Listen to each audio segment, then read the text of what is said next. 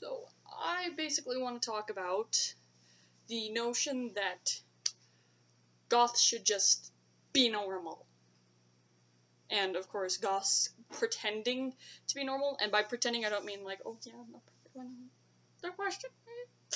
I mean, goths dressing in a more normal, mainstream fashion to appear normal to outside eyes. I'm also talking about goths that just don't tell anybody about their gothy interests. That sort of stuff. But I'm more so talking about the people that go, you should just be normal. Just be normal. You should just be normal. You don't need to dress that way. You don't need to be a goth. You don't need to listen to that music. My first response to that always is, well, nobody needs to do anything other than fucking eat, sleep, and piss. So you don't need to talk. You also need to wear clothing if you don't want to. you were just simply raised to told you have to wear clothing. If we were all raised not being told we had to wear clothing, nobody would wear fucking clothing, especially pants. Nobody would wear pants if we weren't raised knowing that we had to wear clothing. I know hundreds of people who just run around screaming naked in other people's yards. I know hundreds of people who would do that if they could. So it's like, no, no. The only reason people wear clothes is because society has basically deemed that we must because it's wrong to run around naked. That's the only reason we wear clothes to begin with. So technically, we don't need to wear clothing, period, really. Except during the cold months, because, you know, then you need a jacket so you don't die of hypothermia and shit. but clothing is not a necessity to live for the most part. So, really, clothing at all isn't necessary, so what's your freaking point? But my other thing is kind of is like, well, shut your fucking face. you don't need to be talking to me. I'm not talking to you. and even if I was talking to you, this is unsolicited commenting on my appearance. Fuck you. Go fuck yourself. Talk to the tit. It is just like, no, no, no, no, no. And always like, uh, the way we dress is usually part of who we are as a person. Like, yeah, sure, there are goths out there who are completely okay with not dressing in a goth fashion, and are completely fine with not looking gothed to the nines every single day. There are lots of goths who are completely okay with that. And that's not a problem. The only problem I have with goths who dress mainstream is when they're dressing mainstream because they don't have an option or because they believe that's the only way anyone will ever like them. That's just shitty. if your friends would hate you because you dressed goth, they're not your friends to begin with.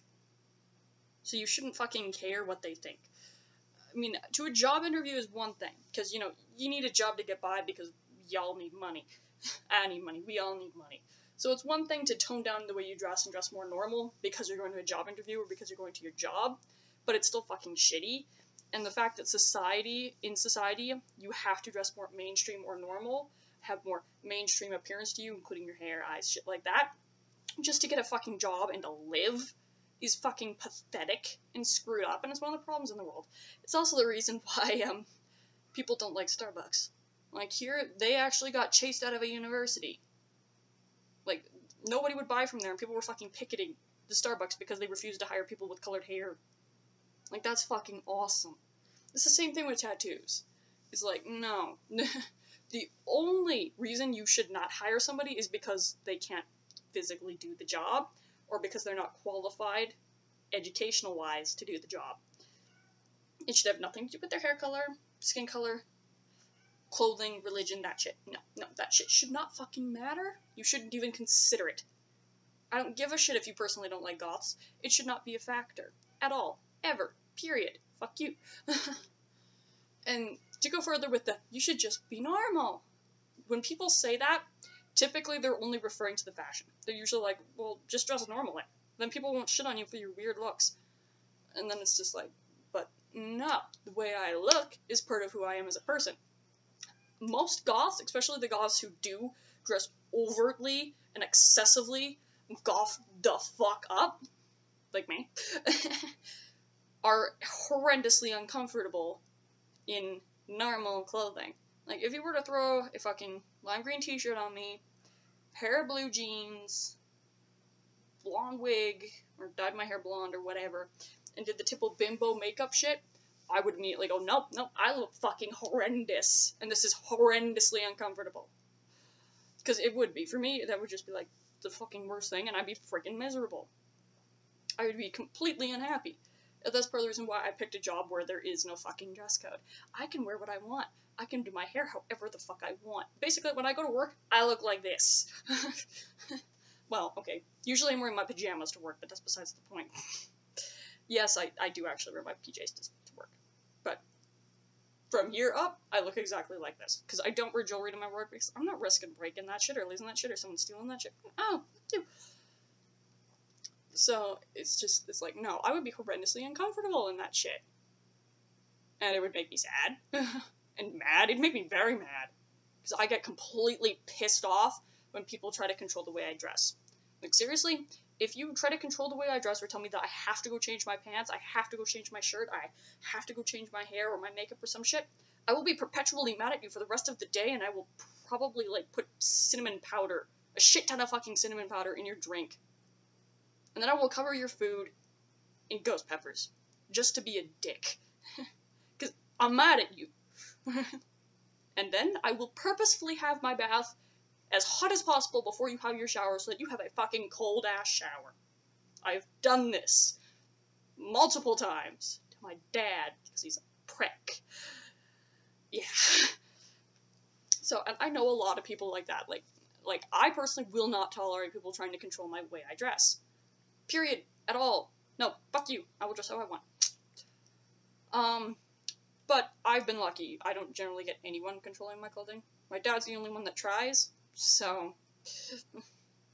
and the only time he's even remotely successfully gotten me to change my clothing was when I was trying to wear a somewhat fetishy, booty short-ish outfit to my grandma's birthday party.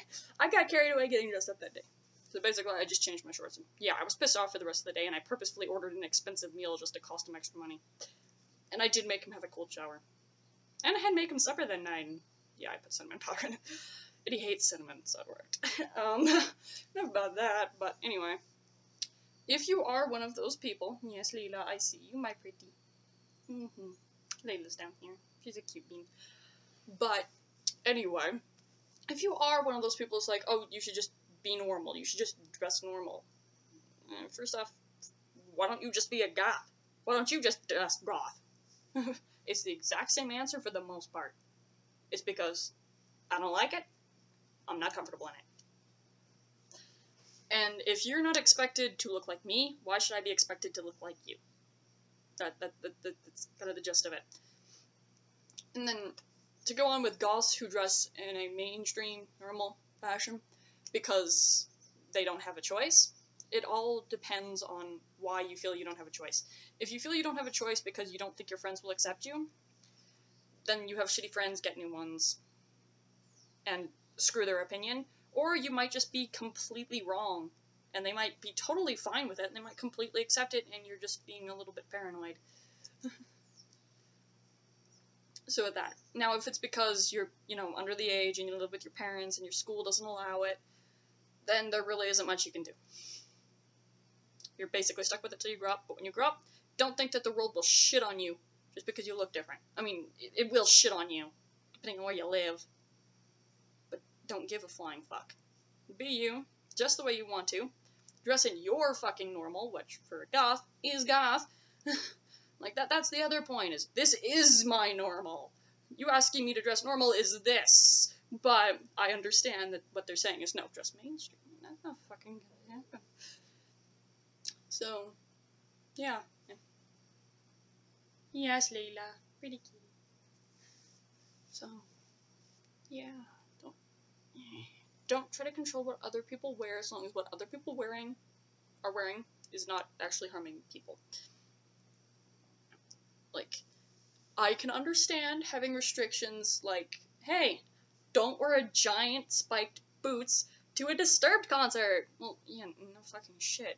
Who the fuck's wearing spiked boots to disturb concerts? So that that kind of thing, fine. But that you should just dress normal? No, no,